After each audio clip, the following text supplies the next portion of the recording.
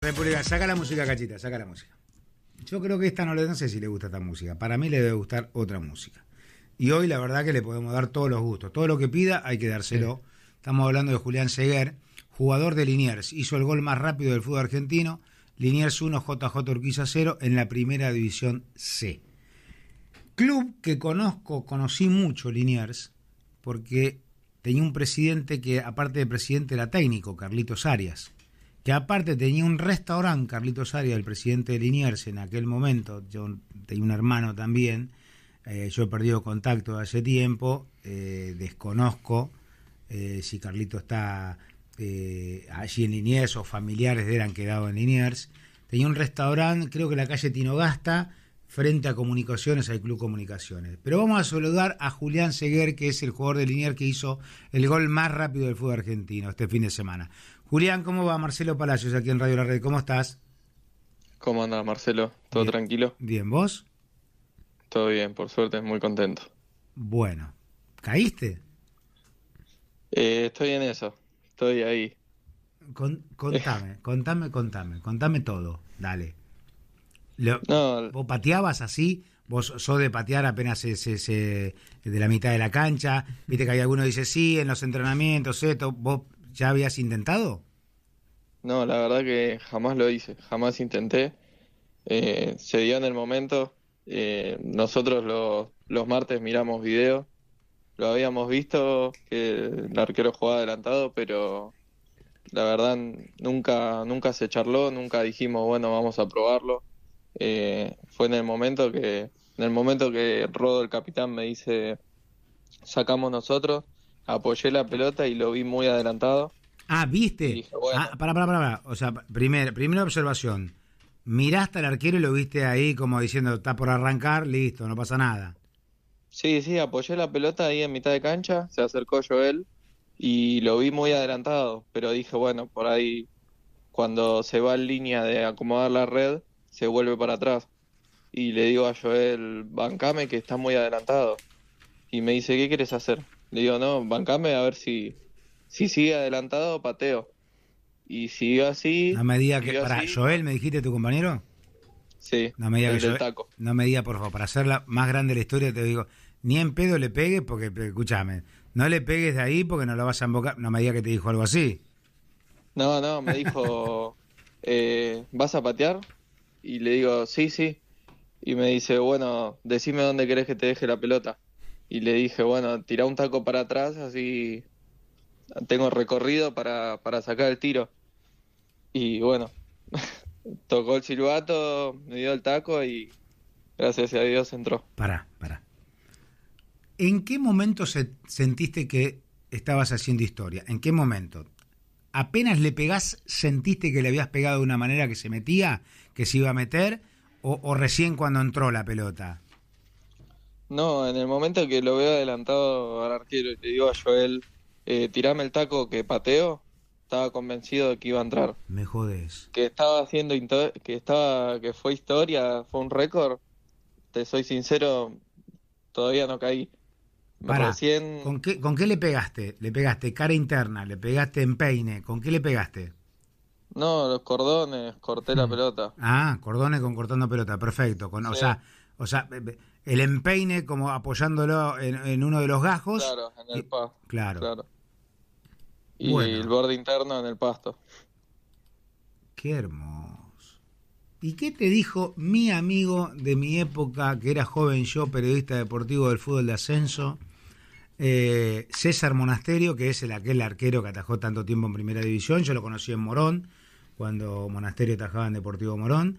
¿Qué te dijo tu técnico César Monasterio? Nada, primero me felicitó. Eh, en el momento no, no me dijo nada, pues estábamos lejos. Pero después que terminó el partido, sí me, me felicitó y me dijo: prepárate porque se te viene una semana agitada. ¿Cuántos años tenés vos, Julián? 25. ¿Y dónde arrancaste jugando? ¿Siempre en Nies o de dónde venís? No, no, eh, debuté en comunicaciones. O sea, inferiores de eh, comunicaciones. Sí, inferiores en comunicaciones, debuté el torneo que jugamos la final del reducido. ¿El equipo que sigue de presidente, Ezequiel Segura? Sí, sí, sí, él.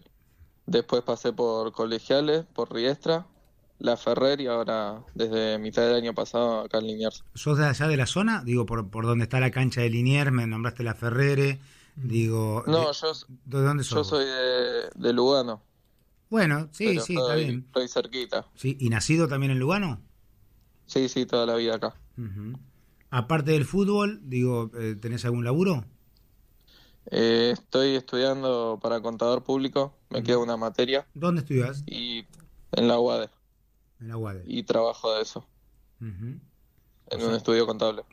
Uh, ¿qué hacemos con el impuesto a las ganancias y bienes personales que ahora viene abril y mayo hay que liquidarlos? No, eso, el impuesto a la ganancia se, se ocupa generalmente mi vieja, trabajo ahí con ella. Ah, ¿la vieja es contadora o trabaja ahí en el, en el, en el mismo estudio? Sí, mi vieja, mi vieja es contadora del estudio contable nuestro. Ujú, Mira vos. Contame, y, y por ahí viste que está ligado el fútbol de ascenso eh, al pibe de que de- bien analizado desde el preconcepto, porque yo que me crié en el fútbol de ascenso, yo que soy hincha de Midland y soy eh, tengo 56 años y el día que nací soy socio de Midland, eh, entonces está el preconcepto ligado que por ahí el, el pibe laburante, el pibe por ahí que es albañil, labura durante todo el día, después se va a entrenar. Sin embargo, vos tenés como una formación diferente, de, de- de familia de contadores, estudiar en la universidad, que no es la característica. Intuyo que debe ser el único en Liniers que por ahí está desarrollando una carrera universitaria, eh, Julián. Sí, de mis compañeros hay, bueno, está Rodo el capitán estudiando para preparador de, eh, profesor de educación física. Después hay varios chicos más que, que estudian, pero sí, de una carrera así con números creo que soy el único. Y de todos mis compañeros que, que tuve muy pocos, muy pocos me, Y me porque no es fácil. El porque no es único. Hay, que, hay que laburar más que, viste, cuando tenés que de- decidir entre laburar y estudiar, normalmente Sí, el, pi- el pibe del ascenso... parecido. Claro, claro, claro, claro, claro, claro. Escúchame, Julián, bueno, y terminó el partido, ¿y quién te dice que a los cuatro segundos fue el gol? El árbitro te dice, tome, porque por ahí también guarda que hay quilombo con los, el árbitro, por ahí no, no apretó Claro. el cronómetro, ¿no? De- Y el segundero, ¿Quién, ¿Por quién qué? te dice? ¿Quién dice? El, el récord. No, sí, al principio venía uno y me decía 5 segundos, otro 3, otro 4. Me dice, lo están mirando en AFA, qué sé yo, no sé. Eh, y el primero que vino fue un periodista partidario de JJ y me dijo, está, mirá, tengo filmado el gol, eh, creo que fueron 4 segundos. Claro, pues yo lo pasé, yo lo pasé en Teis Sport esta mañana, eh, en el Sportia que me toca conducir con Majito Lescano y con Juan Martín Rinaldi. Lo pasé en Sí. Teis Sport, pero evidentemente era un, era un, un celular. Celular, claro, está filmado, de, está filmado atrás porque- de- del arco de Liniers. Detrás del arco, claro. De ahí, de ahí Sí, sí, había dos. el- la, la transmisión justo encima se cortó. me jodés. No. Sí, No en la transmisión de YouTube no se llega a ver el momento. Hubo varios que se lo perdieron. Mi viejo, por ejemplo, no llegó a verlo ahí en el momento. Estaba en la cancha y me dijo que estaba con, con el reloj poniendo el cronómetro. y cuando levantó la cabeza, la pelota ya estaba entrando. Ah, nunca se imaginó que tenía que prestar atención los primeros cuatro segundos. Claro. No, Y te arranca el no partido y no le das mucha bolilla. Bueno, escuchame una cosa. Y a partir de ahora, ¿lo vas a hacer más seguido esto de pegarle de la mitad de la cancha? Y yo creo que estas primeras fechas que vienen ahora va a estar complicado porque seguramente los arqueros estén atentos. se van a poner debajo del travesaño los arqueros, ¿no? Sí, ho- hoy, hoy los pibes me jodían entrenando que iban a poner un central ahí también en el área para estar atentos. Escúchame, eh, Pero- ¿cuánto, ¿cuánto calzás, Julián? 42.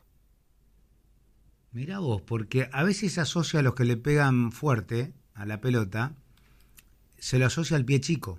Se Como habla- Roberto Carlos, por ejemplo, Roberto que Carlos. le pegaba fuerte. Pará. Mm. Eh, Calzaba 36. Pascualito Rambert. Mira, Julián me va a decir quién será. Chilaver tenía pie chico. Chilaver tenía pie chico. Y a veces dicen que como que, como que ese pie chico le, le agarra más de lleno a la pelota y, y hace que le pegue fuerte. ¿Vos en general le pegás fuerte? Sí, suelo buscar el empeine, para pegarle, pero también me gusta darle a colocar. Esto no lo había hecho nunca, la verdad, de ¿Cuán- pegarle así ¿Cuántos en goles, mitad de cancha. cuántos goles tenés en tu carrera? Eh, 16. Los tenés contaditos, ¿eh? Sí, creo que creo que con este 16. Bueno, y ahí hay un asado, algo, qué sé yo. Chiqui Tapia, por ejemplo, va a pagar uno como presidente de la AFA. ¿Se pagará un asado para, para los muchachos de Liniers que, que tienen el récord de los cuatro segundos? Con que me llegue la camiseta del gol del récord, ya, Pero ya pará, voy a ser feliz. pero esa, esa camiseta de gol te la tiene que dar eh, Liniers.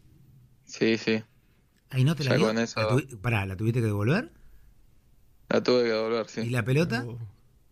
La pelota tampoco, no, no llegó. Muchachos, yo les quiero decir una cosa. El otro día me contó un presidente de un club que mandó a comprar 10 pelotas. Valen como 40 lucas las pelotas, ¿eh? Claro. No, no digo que no es fácil. Digo, en, en- en una divisional que todo cuesta. Sí. Pero pará, ¿y la camiseta? ¿Quién es el presidente de Liniers? Vamos a hacer una, vamos a mandarlo Sí, pública. ya ¿Quién, te- para mí te la tienen que dar enmarcada. quién- quién es el presidente de Liniers? Eh, Marcelo, Marcelo, ¿cuánto? Ahora me dice Marcelo, ahora. me dice Marcelo Palacio y digo, no, no, no sabía que era presidente. No. Escuchame una cosa, Julián. Bueno, vamos a una cosa, Radio La Red, garpa, garpa las camisetas. Que, porque viste que te dice, no, te- Julián, te tenés que llevar la camiseta, pero nosotros queremos hacer una cosa. Vamos a hacer una cosa. Pongámonos en contacto con el presidente, Tano, le digo el Tano algo. Marcelo Gómez, ponete eh, con el presidente. Si tenemos que pagar el juego entero de camiseta, digo, tenemos, estoy buscando socio, ¿no? Estoy buscando eso porque me dejan solo acá. Bueno, yo, yo, yo, yo pago el juego de camiseta, porque viste que en el fútbol de ascenso muchas veces te dicen que no se puede dar una camiseta porque se rompe el juego. Y no es como Sí, la primera claro. división que tiene 70 juegos para cada jugador y ese tipo de cosas. Comunicate con Marcelo Gómez, decirle que yo como hombre que soy fanático del fútbol de ascenso, eh, quiero que tenga la camiseta eh, Julián, la del récord, la de los cuatro segundos. La tenés que marcar, ¿eh? marcarle con una manchita, algo que quede marcada, que no te den cualquier otra. Y que si hay que pagar Sí. el juego de camiseta, yo no solo esa, sino que eh, pagamos el juego de las camisetas para que Julián tenga esa camiseta. Y el día que se reciba el contador, tiene el título por un lado, lo, lo pega ahí y al lado la camiseta enmarcada, digo, con el récord. sí, de- obvio, van enmarcados los dos ahí. Julián, te mando un abrazo grandote. Lindo conocerte, lindo charlar con vos.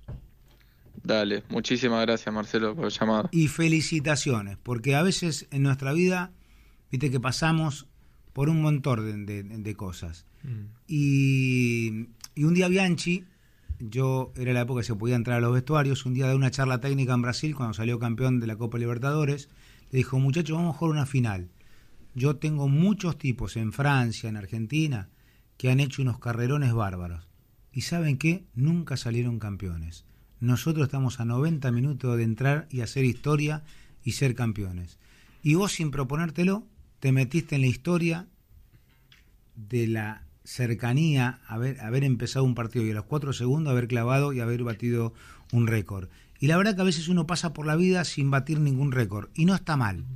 Pero vos, casi sin proponértelo, estudiando, laburando, esforzándote con la cultura del laburo y también eh, eh, ha- haciendo esto, despuntando el tema de la pasión por jugar al fútbol, a lo mejor con o sin necesidades como el resto de tus compañeros, sin proponértelo batiste un récord. Y eso está bueno en la vida. Te mando un abrazo inmenso, Julián. Dale, te mando otro, otro grande ahí a la mesa también y muchísimas gracias. Julián Seguer, jugador de Liniers, hizo el gol más rápido del fútbol argentino. Liniers 1, JJ Urquiza 0, Primera División C, y nos contaba su historia. 15, 24